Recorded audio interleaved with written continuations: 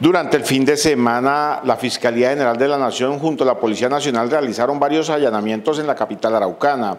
Allí se logró la captura de alias Monocuco, cabecilla de las disidencias de la FARC. Allí se encontraron armas y hasta explosivos.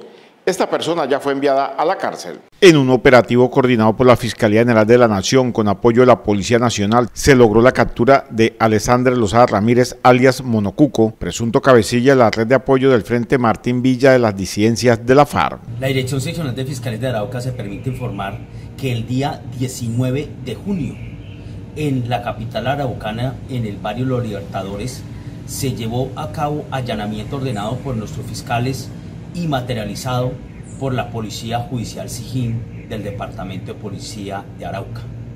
En ese allanamiento se logró la captura de Alexander Lozada Ramírez, alias Monocuco, junto a tres personas más.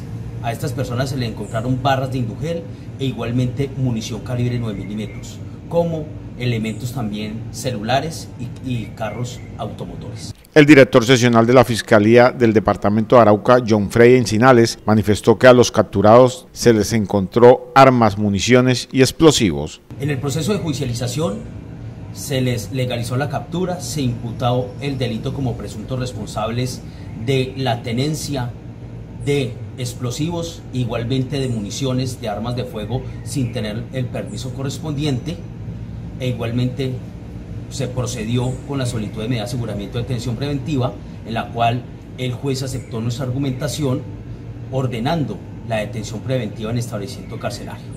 El jefe del ente acusador aseguró que alias Monocuco es uno de los cabecillas del Frente Décimo de las disidencias de la FARC que delinque en esta región del país. La relevancia de este caso es que este señor Alexander Lozar Ramírez, alias Monocuco, aparece como uno de los integrantes y más allá de los líderes militares del GAOR E10 que tiene injerencia en el departamento de Arauca. Y con esta judicialización también se logra evitar la utilización de esos explosivos en nuestro municipio que según la información que teníamos iban a ser utilizados el fin de semana. La Fiscalía le imputó cargos a los cuatro sujetos por los delitos de fabricación, tráfico y porte de armas de fuego, uso restringido de las Fuerzas Armadas o explosivos y fabricación, tráfico, porte o tendencia de armas de fuego, accesorios, parte o municiones.